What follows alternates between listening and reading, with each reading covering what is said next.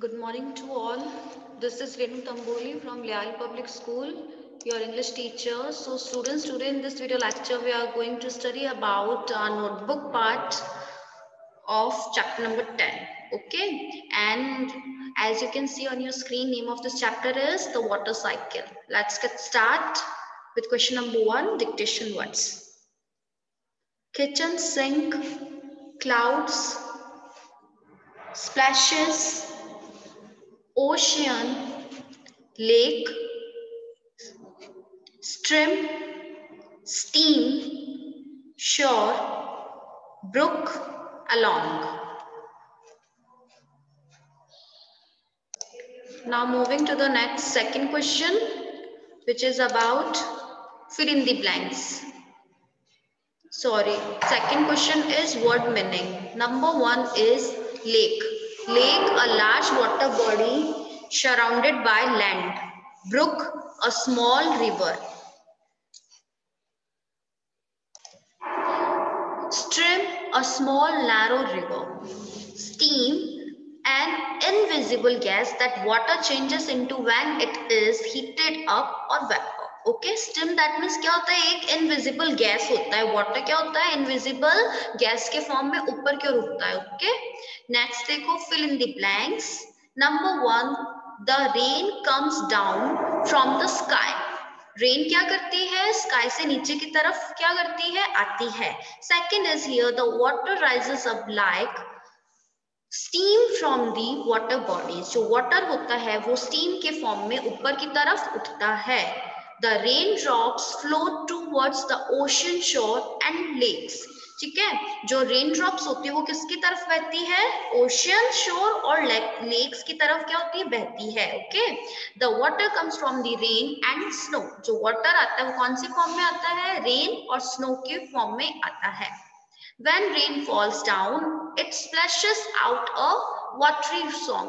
जब रेन होती है, तब क्या होता है? वाटर कौन से सॉन्ग के थ्रू नीचे आता है? बारिश की बूंदे जब नीचे गिरती है, तब कौन सा सॉन्ग रिप्रेजेंट करती है? Watery song okay next fourth put true और false number one when the speaker was young she thought that water comes from the kitchen sink. That meaning is that कि जब ना, author speaker poem का छोटा था तो क्या सोचता था कि वॉटर किचन सिंह से आता है। इट विल बी ट्रू या false true next water comes down to the earth in the form of snow and steam it's wrong okay next is the rain drops flow towards the mountains false some of that water again rises up in the sky as rain it will be also false okay and students let me clear one thing is that कि ये जो question number four है हमने book exercise के through भी इसको complete किया था okay number five question is here make sentences number one sky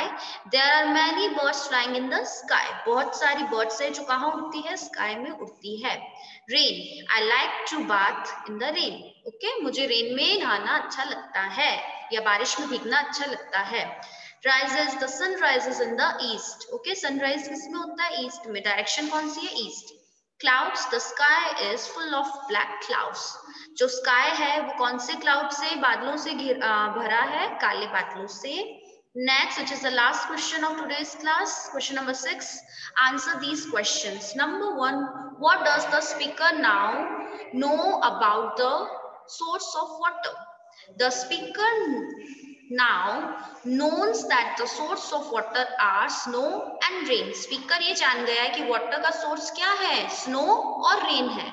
Next question, where in the sky does the water wait? The water waits in the clouds. आसमान में sky में water कहाँ wait करता है बादलों में next question number three what does the speaker mean by a watery song speaker का watery song से क्या मतलब है? क्या अर्थ बता रहा है वो? By watery song the speaker means the sound that the rain makes watery song मतलब स्पीकर ये कह रहा है कि वो साउंड uh, जो कौन uh, बनाता है? रेन के थ्रू बनती है. That is called watery song next question in what form does water come down from the sky sky se water kaun si form mein aati hai we know that the water comes down from the sky in the form of rain and snow okay now students today we have completed this chapter I hope you understood about this and do work in your English 1 notebook. After that, send it to your subjective teachers. Till then, take care. Bye-bye.